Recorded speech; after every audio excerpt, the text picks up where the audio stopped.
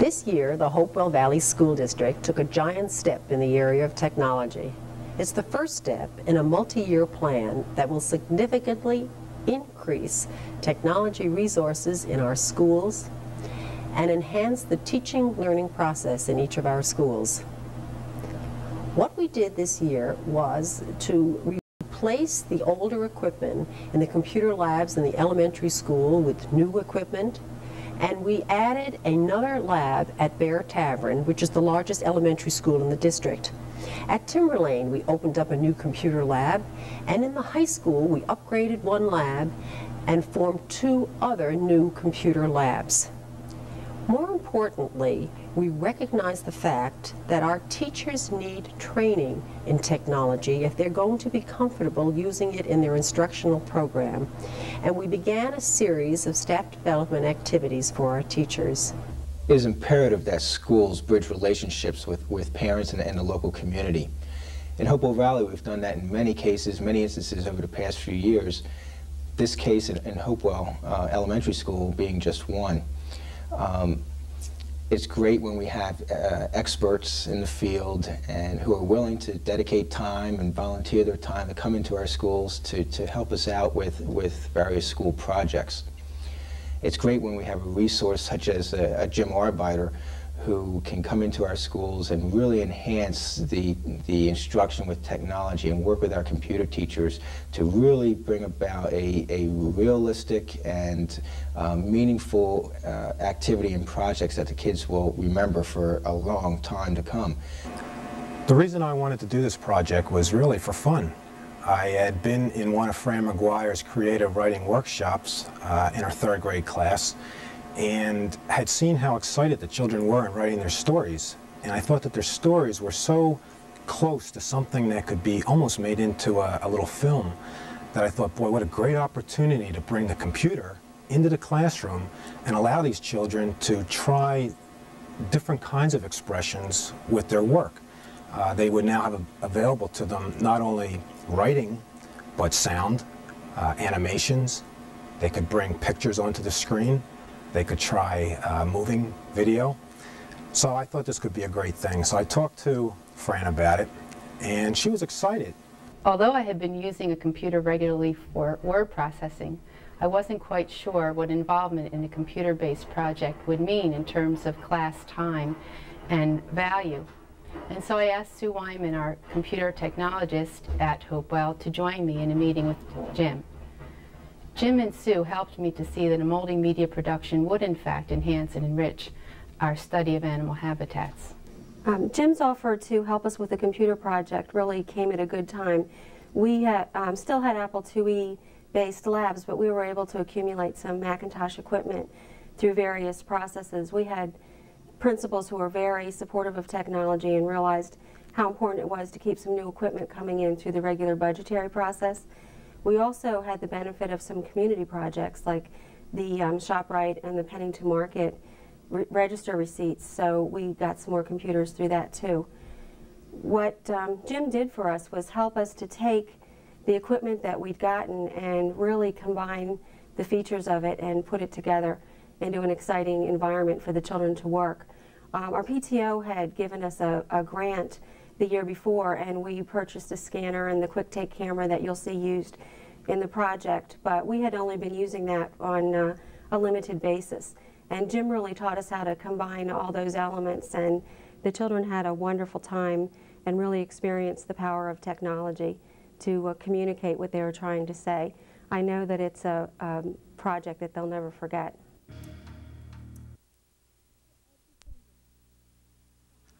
The Arctic Tundra by Lowell Alcott, Lucy Vanessa Fishman, Andy Conley, Natasha Morris, and Chrissy Fairbanks. The Arctic tundra is found in parts of Canada and Asia. It is also found in Greenland and Antarctica. The Arctic tundra is the cold region around the North and South poles.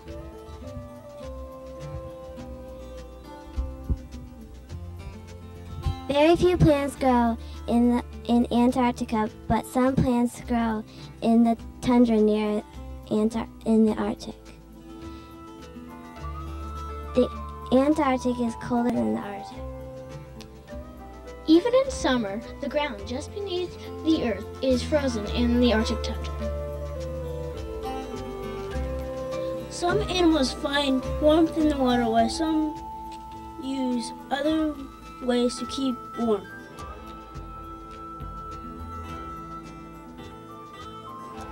The Snowy Owl by Chrissy Fairbanks.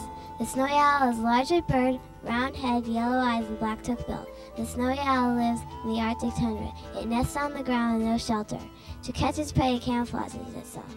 It turns white in the winter like the snow and brown in the summer to blend in with the earth. The snowy owl can overpower all the animals in its surroundings. It hunts during the day.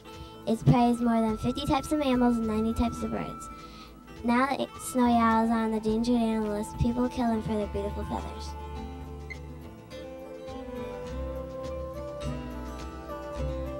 The habitat of the polar bear is the Arctic tundra. They find shelter in ice and snow. In late October, the female digs a den where she will have her cubs. At birth, polar bear cubs weigh approximately one pound. The male's length can reach 11 feet, and he can weigh over a thousand pounds. Their eyesight and hearing is similar to that of a human. Their sense of smell is better. They can smell a seal under the ice. Although polar bears appear to be white, they have black skin and clear fur that absorbs the sun's heat and protects them from the cold. They are excellent swimmers and can swim 100 miles at a sea. Polar bears' favorite meal is seal, but they will eat anything from dead weeds, beach whales, and reindeer to seaweed.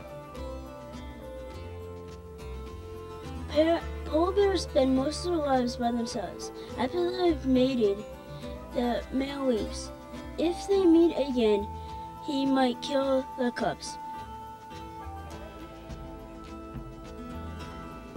Adelie penguins live in Antarctica and therefore need special adaptations to survive. When looked at from above, the Adelie's black back is hard to see against the dark ocean floor, whereas its white underside is hard to see against the bright sky. While swimming, a penguin's small scaly feathers help to keep it dry. Under their feathers, Adelies have a thick layer of fat to keep them warm. Even in the Antarctic, penguins do get overheated. If this happens, a penguin will open its beak and hold out its flippers. One feature that distinguishes the Adelie from other penguins is the white eye ring on its black head.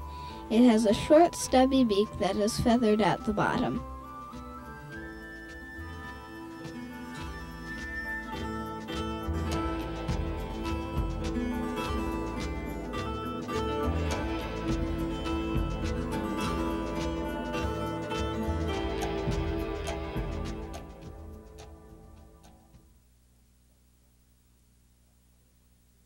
We started talking, Susan asked me, hey, can we do music underneath? Can we bring the children's artwork into the system?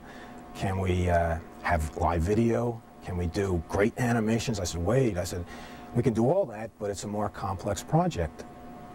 And so it's complex, but it was actually more exciting because of that. So I think Susan was the one that really, really motivated us to do as much as we did. So leading up to that day, Susan and I spent some time taking pictures from the children that they had selected on their uh, project and scanning them into the computer, getting all their animated characters ready for them. And Fran, on the other hand, had been working with the children trying to develop exactly what kind of a theme they were going to do uh, for this creative writing session. And she picked science, which turned out to be a really nice theme because the children were studying habitats around the world. And she organized the children into groups of four to five, and they were able to take one animal from that habitat and do research on it. And so not only were they going to be doing creative writing now, they were going to be doing some research. They were going to be doing some uh, animations which would let them get a flavor for actually producing a movie, which I think added a lot of excitement to the project for them. The Rainforest Habitat by Laura O'Neill, Maddie Pinault, Lady Hill, Sean Bielbaum, and Tim Albright. Rainforests are found in South America and Mexico, Australia, Africa, and Asia.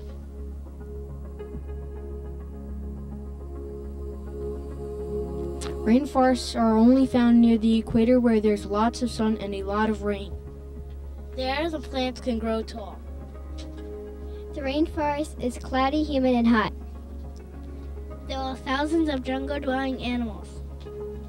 There are also hundreds of exotic plants.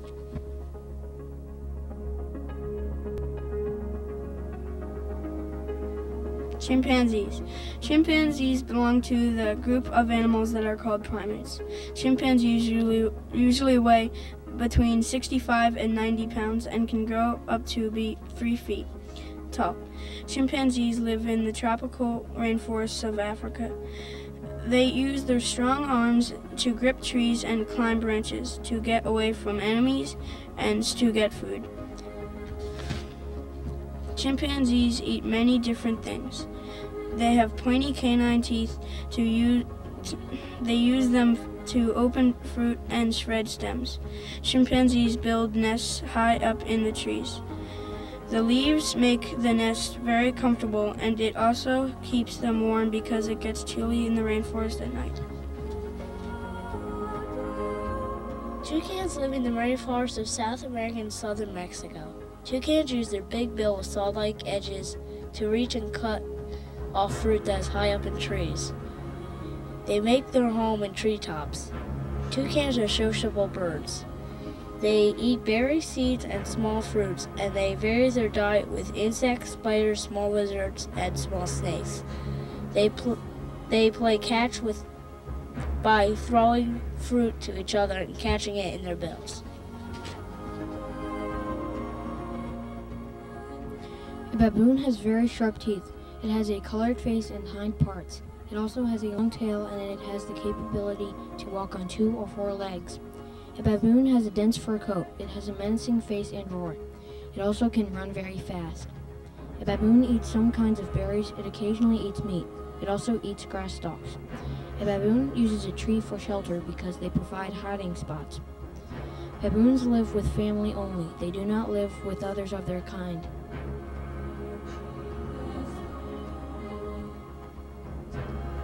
The scarlet macaw can grow to nearly three feet.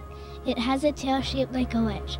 The macaw has a good camouflage when sitting among bright fruits and flowers. The foot of the macaw is designed for gripping branches. The two outer toes point backwards and the two inner toes point forwards. Macaws weigh about three pounds and are skinnier than most parrots but have strong legs. The macaw eats some fruits, seeds, and berries that have poison in them and not get sick. They also eat clay, which helps them not get sick, and has a lot of salt and minerals in it. It can crack open a Brazil nut, then eat it. They can use their beak for an extra foot. Their feet are very similar to a hand.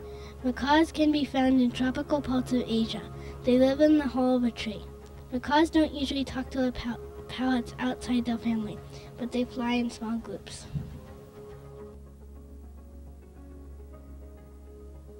The vampire bat. The vampire bat weighs 100 grams to 899 grams. The wingspan of a vampire bat is 320 to 350 millimeters. There are three kinds of vampire bats. There are common vampire bats, hairy-legged vampire bats, and white-winged vampire bats. The common vampire bat's skull is one inch long. Vampire bats do live in a community. When other bats get hurt, the other bats are there to help it. Also, they live in, a commu- in communities so they don't get cold during the winter. They keep warm by huddling together. The vampire bat lives in caves and deep, gloomy, hollow trees.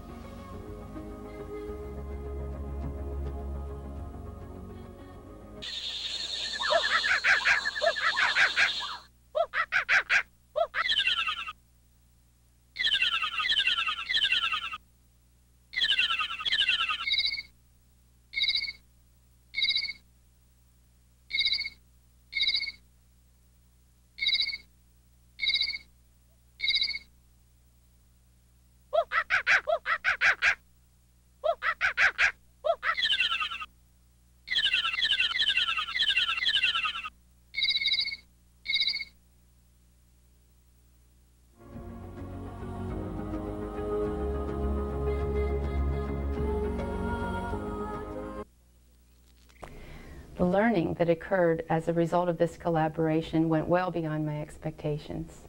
The children worked together to write, revise, edit, illustrate, and produce this video. Projects that in years past would have been presented as oral, individual oral reports were woven together with care and team effort. The pride and, accomplish, and sense of accomplishment that the children felt um, was apparent to all who attended the premiere showing in June.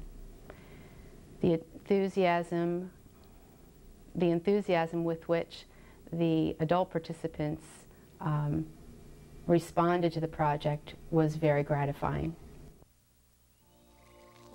The Desert by Daniel Wojcik, Christina Wesley, and Chuck Cartelli.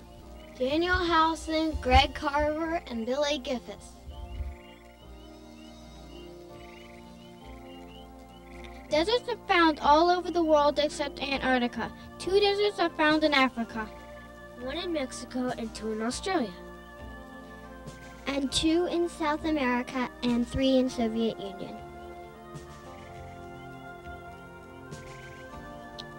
Some deserts are rocky. Some are covered with large areas of salt or ice. Some deserts are hot and some are cold, but the thing that they all have in common is they are dry. You wouldn't think many things would live there, but you would be surprised how many things do. Here are a few of the animals oryx, camel, lizard, tarantula, and scorpion. Some of the plants in the desert are the giant cactus and the mesquite bush. Camels spit a lot more than other animals. They have humps on their backs. They weigh about 1,200 pounds. They are 7 feet high and 10 feet long. Camels live in the desert. Rainstorms do not happen much in the desert. Camels are not found in any cold places. Camels can go 17 days without drinking. Their food is plants. There can be big and small groups of camels.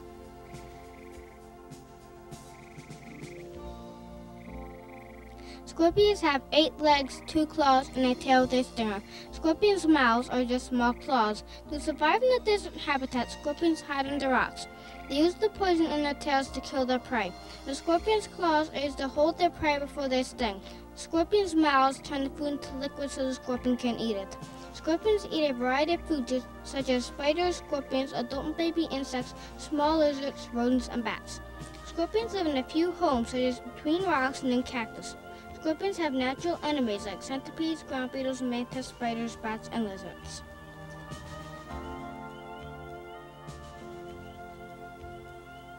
One of the largest species of antelope is the oryx. The adult oryx can be 8 feet tall, including its horns, which can be 4 feet high. They can weigh as much as 450 pounds. They are usually tan, gray, or white, or a mixture of these three colors. They live in herds in dry areas in East Africa. The oryx feeds mainly upon grass and leaves, and it can go a long time without water. Their horns can be very dangerous weapons. About 300 oryx live in zoos, and about 200 have been reintroduced to the wild. One interesting fact about the oryx is that it can cool its blood in its brain by inhaling air.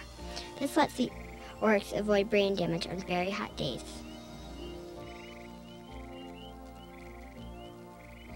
The horned lizard is wide and flattened. The length of them is between 4 and 7 inches. Others are intermediate size.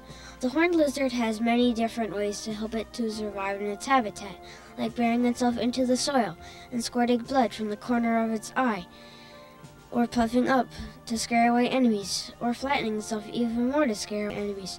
The horned lizard eats many different things. It eats ants, insects, arthropods, moist leaves, spiders, moths, and caterpillars, and it needs very little water. The horned lizard eats in strange ways. When it needs water, it laps it up from moist leaves. It lives in the desert of Mexico and in the western United States. The horned lizard burrows under the ground when it rains. The name tarantula comes from Taranto in Italy, where they have a lot of tarantulas. Most hairs on the tarantula give people bad rashes. The tarantula has eight eyes on one bump on its head, and it is almost blind. It can only see light and dark. They have no ears. All tarantulas have two pairs of lungs. They have a black spot on their abdomen when they are young. They also have needle-sharp fangs. When the tarantula fights, it lifts its front two feet and shows its fangs. The fangs act like straws to suck the juice out of their prey. The tarantula can stand sideways and upside down. Tarantulas can move their spinnerets very fast if one touches its abdomen. They can live long with no food. The tarantula eats beetles, grasshoppers, caterpillars, crickets, and bird spiders.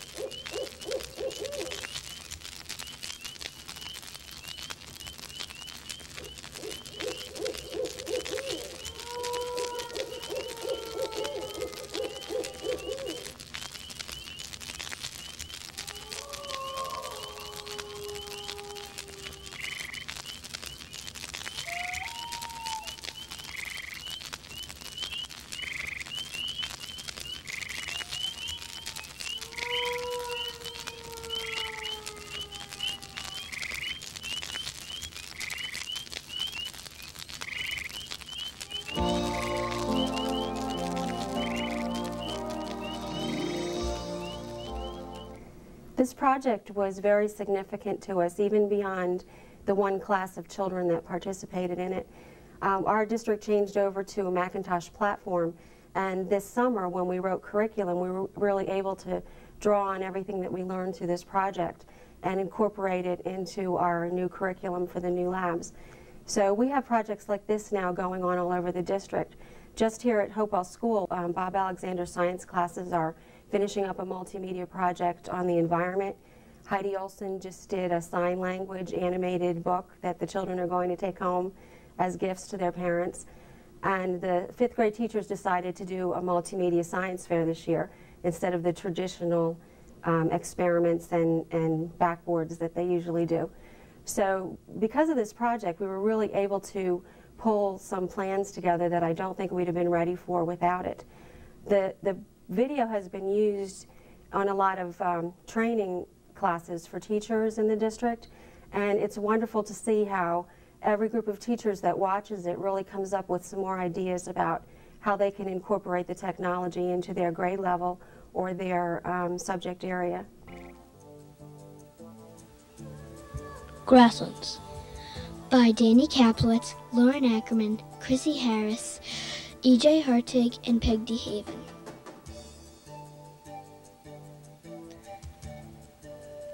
Grasslands are found in every continent except for Antarctica. The smallest grassland in the world is in South America. The biggest grassland are in Africa and Asia.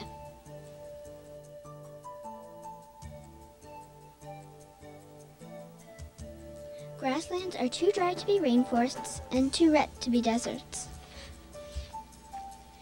Grasslands are called by many different names like plains, prairies, savannas, and pampas. Although they may have scattered bushes and trees, they are filled with one group of plants called grass. Grasslands can hold lots of herbivores like seen on the plains of Africa. But with the grazing herd come carnivores that eat other animals, and that is why the open plain can be a very dangerous place to live. Weighs 100 to 500 pounds. The lion is 5 to 10 feet in length. In order to stay alive in the grasslands, the lion needs sharp claws, sharp teeth, and good speed. The lion's golden brown color helps the lion blend in so it can sneak up on its prey. The lion's rough tongue helps it to scrape bones and to clean itself. The baby lion, cub, is spotted when it is born. After a few months, it loses its spots. The lion's ears are made big so they can hear far away. The lion has a big mouth so they can call other lions far away.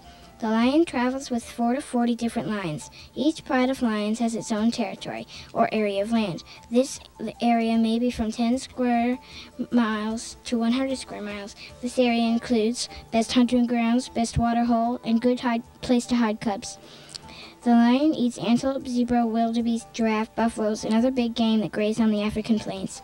The lion kills about 15,000 wildebeest every year. Sometimes the lions have Sometimes the lions have to go for more than a day without a meal. Cheetahs. You can tell a cheetah from other wildcats by a line that runs from its eyes to its mouth. Cheetahs prefer to hunt gazelles, impalas, and other small antelopes. Even though they are very good hunters, they do not always catch the meals they go after. A mother cheetah is very protective of her young and very close to young. Cheetahs and people have a long history together. People are drawn to them because they are the shyest and gentlest of all wildcats. The kangaroo is a marsupial with strong back legs, short front legs, and a long muscular tail. It can grow to be as tall as a man. Strange enough, this animal never runs, just hops, even when escaping from danger. The kangaroos roam the grasslands of Australia and New Guinea. Their diet is small leaves and grass. Kangaroos live in big groups called mobs. A mother kangaroo can have an undeveloped infant, a joey, and a yearling at the same time with the younger two living in the pouch.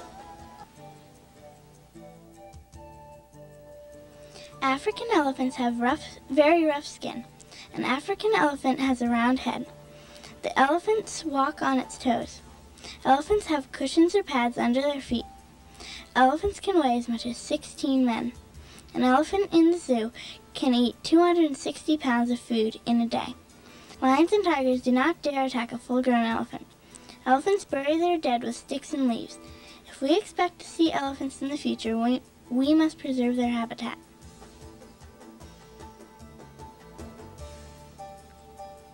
Zebras are black and white striped. Zebras are about four and a half feet tall. They weigh about 950 pounds. They have large ears, strong bodies, and legs. Some zebras bark. No two zebras have the same markings, so they can easily tell each other apart. Zebras live in herds in the grassland. They eat grass. During the dry season, they eat shrubs, roots, bark, and fruit.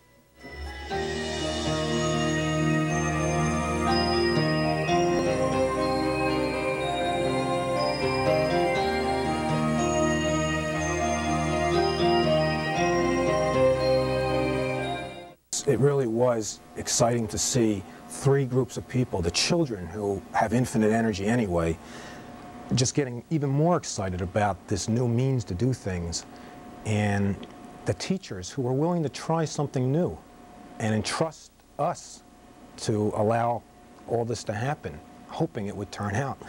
And for the parents to come in and actually work with their children and, and share some of these things. And it was a powerful team. I think it was really exciting, and I hope that it proves to be a good working model for, for future projects in the school system because it really does work well. So what the, this technology did in 3M's Animals and Habitats is really um, rejuvenate the study just about at a time when it would normally have come to a close.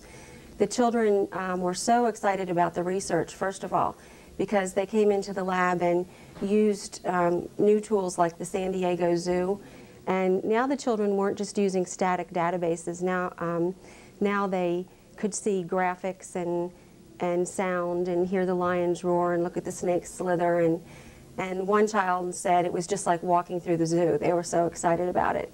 So the, the research aspect was very good and the children were allowed to accumulate um, a lot of information in a short amount of time. And that's one of the real benefits of using technology in this kind of environment that it gives the, the children a chance to, um, takes less time for the children to gather the information and really gives them more time to work with it and study it and analyze it and decide how they want to communicate it. And I think that's where the real learning took place. I can see that this kind of cooperative effort has great benefit to the children, and I look forward to involvement in another project like this. We teachers can really expand opportunities for our students when we open the classroom doors and look beyond the familiar strategies.